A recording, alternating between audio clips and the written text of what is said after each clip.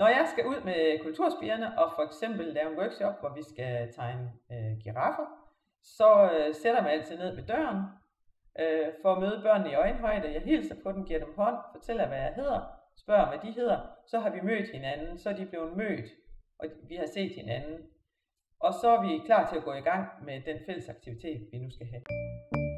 Den hemmelige kuffert stiller jeg på gulvet, og den står på gulvet, når børnene de kommer ind, og den vækker deres nysgerrighed.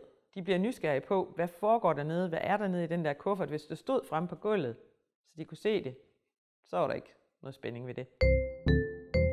For så at skærpe børnenes opmærksomhed, så øh, siger jeg til dem, at de nu øh, skal prøve at lytte til, hvad det er for et materiale, jeg laver en lyd med nede i kufferten.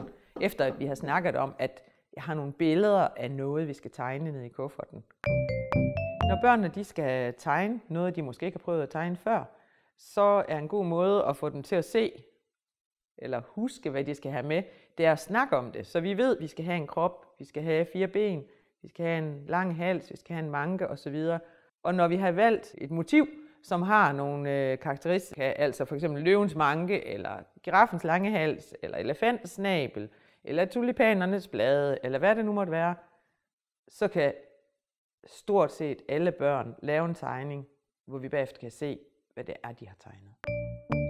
Når jeg vælger at tegne motivet øh, for børnene, så er det jo den gamle mesterlærer, der kommer frem, hvor børnene de ser, sådan her kan det gøres, og det kan også være, det er ikke sværere end det her, det er sådan her, man kan gøre det, og vi husker lige, at maven skal være midt på papiret, så det hjælper til den der sikre succes, som jeg gerne vil give børnene, at de får, får den instruktion, der skal til, for at de kan lave nogle tegninger, som de bliver glade for, og også at de får en god proces. Når man skal arbejde med, med så små børn som dem, der går i børnehaven, så er det en rigtig god idé at være forberedt og have gjort det klar, som vi skal bruge. Papiret det er tabet op, det vil børnene ikke selv kunne klare, så det er gjort på forhånd. Og så ligger tingene klar, så at det er børnene, der er i centrum, når det er sådan, vi arbejder med dem. Når så børnene de får tuspinden i hånden, eller er klar til at tegne med tuspinden, så får jeg dem lige til at vise med fingeren først, hvor på papiret, at kroppen skal placeres, eller hovedet, hvis det nu var en løve, så er det måske lidt ud til den ene side med hovedet, kroppen inde midt på ved giraffen, og det er igen for at hjælpe dem til, at de får deres motiv placeret øh, på papiret. De her workshops har jeg valgt at bruge øh, vandfaste tusser og så akvarelfarver, fordi de er en rigtig god kombination. De vandfaste tusser, dem kan man male ovenpå med akvarelfarven, og de bliver der stadigvæk. Og børn i den alder, vi arbejder med her, de har jo ikke finmotorikken fuldstændig på plads. Så maler de lidt udenfor, sker der ingenting. Farverne de blander sig, sker ingenting. Det bliver flot alligevel. Så uanset næsten, hvad børnene de gør, så får vi et resultat, som jeg er sikker på, at forældrene de gerne vil have hængt op på væggen derhjemme. Når billederne så er færdig malet, så får de lov til at tørre dem med en føntørre. Det synes de er sjovt. De får så flyttet lidt i lokalet, for der er også grænser for, hvor lang tid de kan sidde stille. Og bagefter piller de tapen af. Igen nogle ting, som de måske ikke har prøvet før, men som de sagtens kan lære, når de får at vide, hvordan de skal gøre, at tapen skal rives væk fra billedet, så de ikke ødelægger billedet, at det hiver billedet i stykker.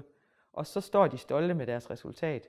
Så de ser selv den magi, det er, når man piller tapen af, og så er der sådan en flot ramme rundt om billedet have valgt nogle farver, som er klare og friske, som børnene godt kan lide, og nogle farver, som øh, passer til hinanden, så at jeg er sikker på, at næsten uanset hvordan børnene de får den farve fyldt på papiret, så får de et billede, som de kan være glade for.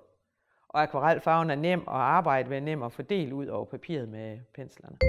Nogle gange indfører vi horisontlinjen på tegningerne, og det er ligesom for at sætte tingene lidt i perspektiv, og få, hvis det nu er en giraf, hvis den får en horisontlinje, så er den straks ude i et landskab, så er den straks sat et sted hen, i stedet for bare at være en giraf på et stykke papir.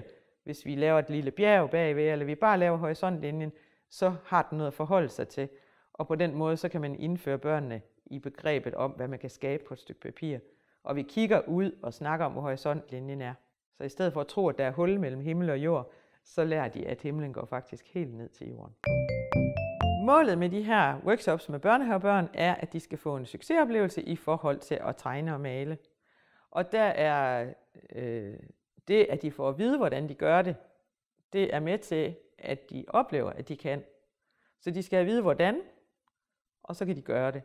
Og så det skulle gerne være sådan, at både processen er en god oplevelse for børnene, og at produktet er noget, de er stolte af, og at når det er sådan, de piller tapen af til sidst, og de ser resultatet, så kan man se det der smil, der breder sig på deres ansigt. Yes, det her, det har jeg faktisk helt selv lavet, og det vidste jeg ikke, jeg kunne lave på den måde, da jeg kom i morges. Så er den hjemme.